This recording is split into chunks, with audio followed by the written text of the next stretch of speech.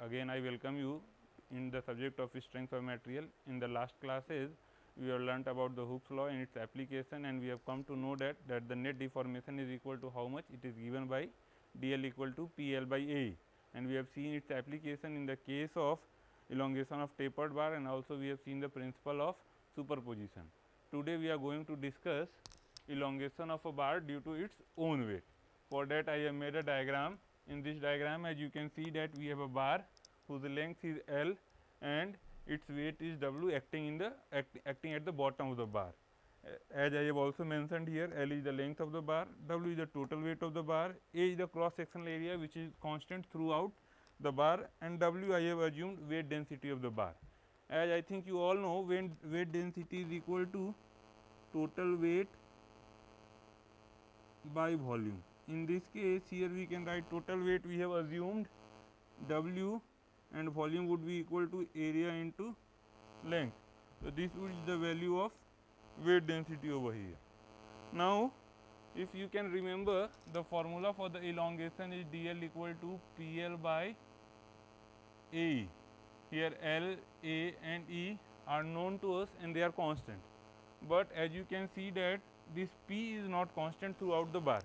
At the bottommost section the total weight or total force acting over here is W.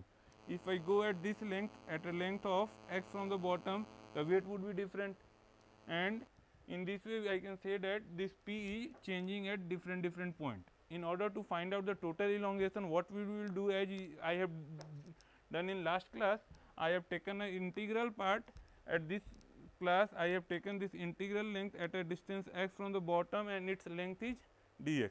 Let me write it. I have considered a length dx if it is denoted by a b. I have considered a length dx at a distance x from the bottom. Now, I will try to find out the elongation of this length dx due to the weight acting due to the this part.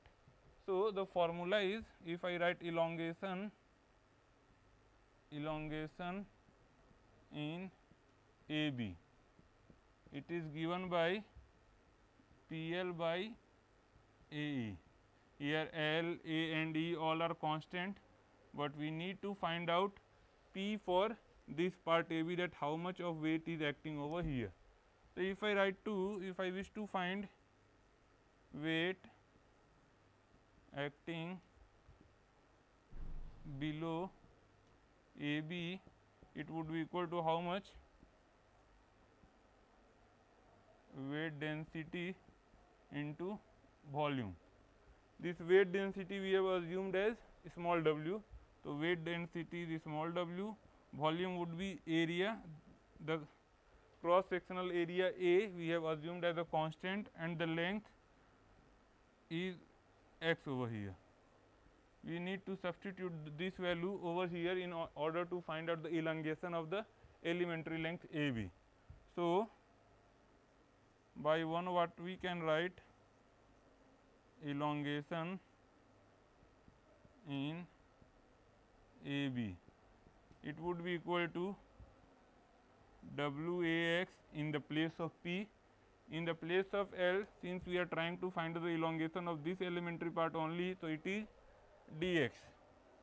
dx and A and E are constant. A to A is can cancelled. So, finally, we are at W x dx by E. This is the elongation of the elementary length dx. Now, if in order to find the total elongation, we need to integrate or we need to follow the integral mathematics. Let us see how it is done.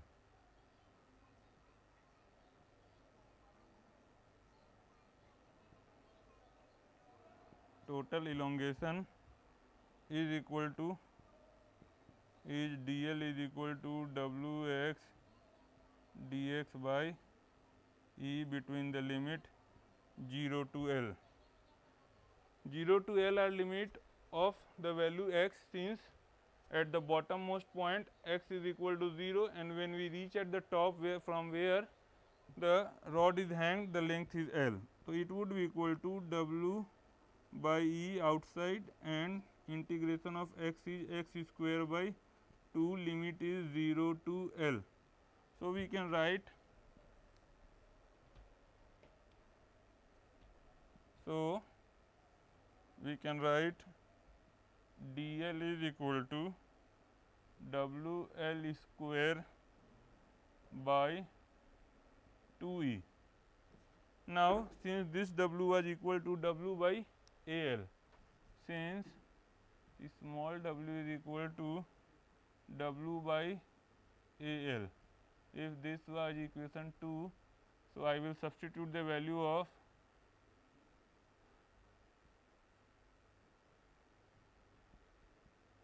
substitute